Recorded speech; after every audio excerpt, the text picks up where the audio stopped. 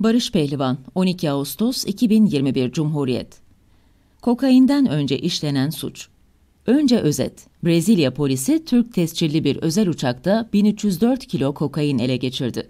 İçinde uyuşturucu bulunan o uçak bir zamanlar devletindi. Turgut Özal döneminde alınmış ve ülkeyi yönetenlerin hizmetinde kullanılmıştı. 15 Temmuz darbe girişimi sırasında Cumhurbaşkanı Erdoğan'ı İstanbul'a götüren de oydu. Eski adıyla TC Ata uçağının yeni sahibi 2017 yılında Affan Yatırım Holding bünyesindeki ACM Hava Yolları oldu. Şimdi uyuşturucunun bulunduğu bavulların sahibi İspanya vatandaşıydı.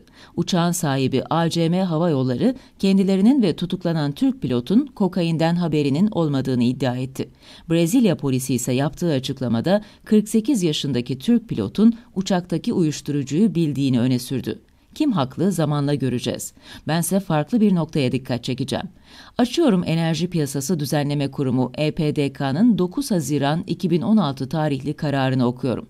Bir şirket 2013'te Tüpraş'tan 27D3729 plakalı araçla akaryakıt aldı. Aldığı akaryakıtı Antalya Havalimanı'ndaki uçaklara yükleyeceği sanılıyordu. Lisanslı o şirket resmi kağıda böyle yazdırdı. Ancak sonradan öğrenildi ki bu bir yalandı. Alınan yakıt uçaklara aktarılmadı. Bir nevi akaryakıt kaçakçılığı yapıldı. Neyse ki işlenen suç üzerine EPDK inceleme başlattı. 3 yıldan fazla süren soruşturma sonrasında da hüküm kuruldu. 350 bin lira para cezası verildi ve şirketin akaryakıt teslimi lisansı iptal edildi. Doğru tahmin ettiniz. İşte devletin kurumu tarafından akaryakıt suçu ortaya çıkarılan o şirketin adı Affan Havacılık Akaryakıt'tı.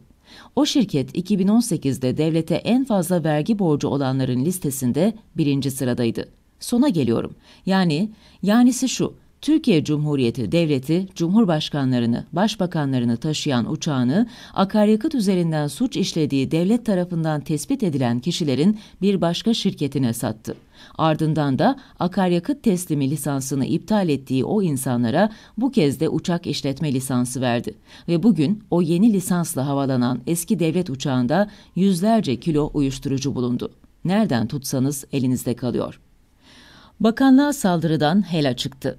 Tarım ve Orman Bakanlığı kendisine yapılan siber saldırıyı üzerinden 10 gün geçtikten sonra resmi olarak doğruladı. O açıklamadaki en önemli nokta ise sondaydı. Sistemler veri kaybı olmadan ayağa kaldırılmıştır.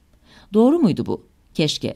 Bir çiftçi gibi e-devlet üzerinden bakanlığın sayfasına girip işlem yapmak istediğinizde şu mesajla karşılaşıyorsunuz. Sistemde yaşanan bir teknik aksaklık nedeniyle işleminiz tamamlanamadı. Keza bakanlığın ilaç takip sistemini kullanan veterinerler de benzer şeyler söylüyor. İstanbul Veteriner Hekimler Odası Başkanı Profesör Doktor Murat Arslan'ı aradım. Kendisine sistem veri kaybı olmadan ayağa kalktı mı diye sordum. Yanıtı şu oldu. Biz başından beri sistemin güvenli olmadığını, teknik olarak da bir hekimin uygulamasının zor olduğunu ifade ettik. Yaptığımız görüşmeler sonuç vermeyince dava konusu yaptık. Gelinen noktada sorunlar halen devam ediyor. Üyelerimiz daha önce kullandıkları ve stoklarından düştükleri tıbbi ürünlerin geri yüklendiğini, hiç almadıkları ürünlerin de kendilerinde göründüğünü bildiriyor.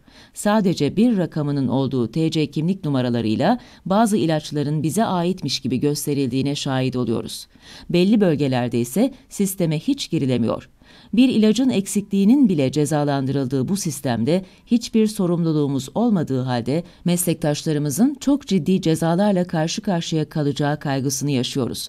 Zira stokların hatalı girilmesinden dolayı yaklaşık 14 bin lira ceza veriliyor.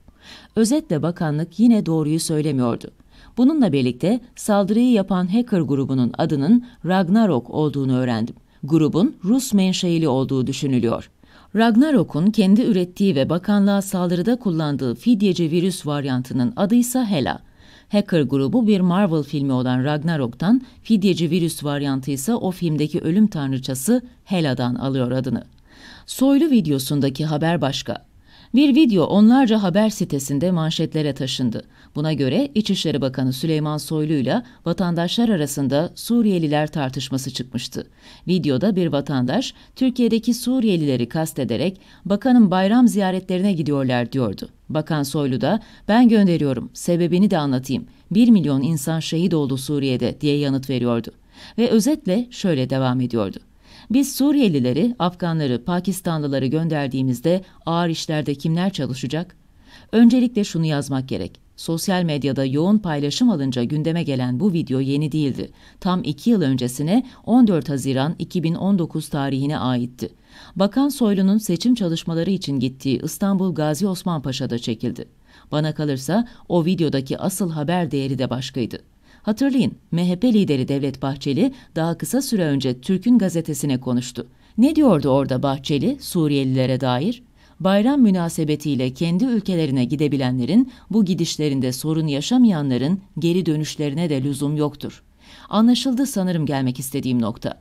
Bahçeli'nin en kritik konularda arkasında durduğu Soylu'yla Suriyeliler konusunda fikir ayrılığı var gibiydi.